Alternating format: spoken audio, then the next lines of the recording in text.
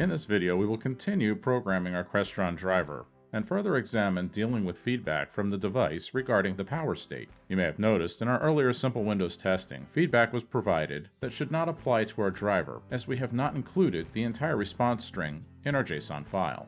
Responses were provided for both power on-off status, warming cooling status, and input selection.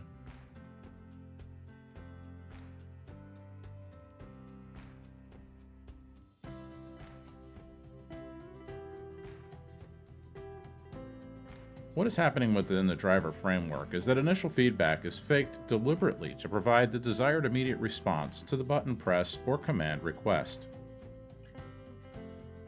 The driver can then update or reinforce the status with true feedback following response from the device or via polling for status. There are components from the driver framework we need to interface with to affect these behaviors. We will first deal with the raw responses within our validate response method. A good first step is to return a base call to allow for more gathering of data if the message is not correct or complete.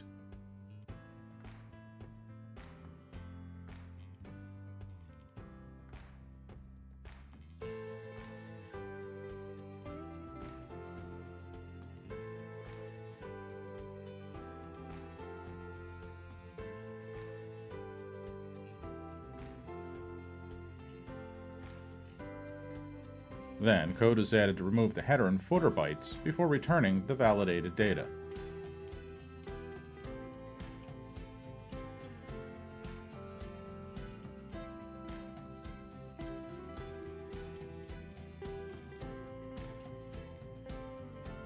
Of interest now is the command group. When a command is sent, the command group used to issue the command is stored and applied automatically to the response data if no match is found to feedback in the JSON file. The command group determines how the validated data response is processed. In the simple debugger trace, there are several debug lines reporting a call to deconstruct power. There are multiple deconstruct methods to choose from based on the response command group, so it is up to the programmer to determine if the framework will set the command group or if their code will before returning validated data. We can interrupt this built-in call by overriding the deconstruct virtual method to perform the actions we would like. For power control, the command group is power. So within the protocol class, we override deconstruct power. Take note of the variety of deconstruct methods available to use. Our deconstruct power method will need some way to determine which state of the power cycle it is in. At the top of our protocol class, we can declare constants with the expected responses.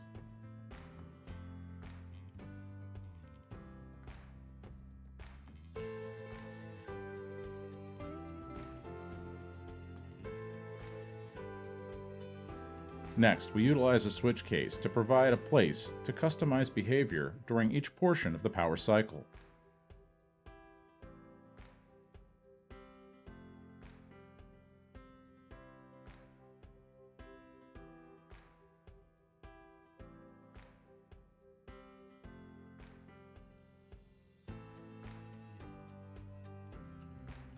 At this point, we are only interested in the power on feedback state.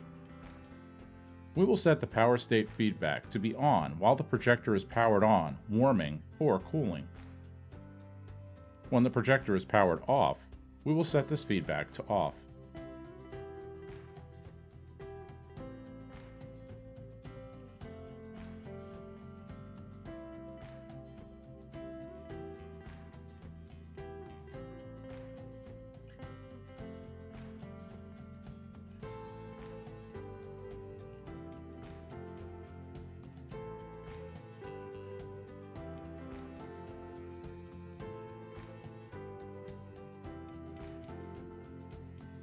In our next video, we will load and test our driver, checking the current condition of our power state feedback. Thanks for watching.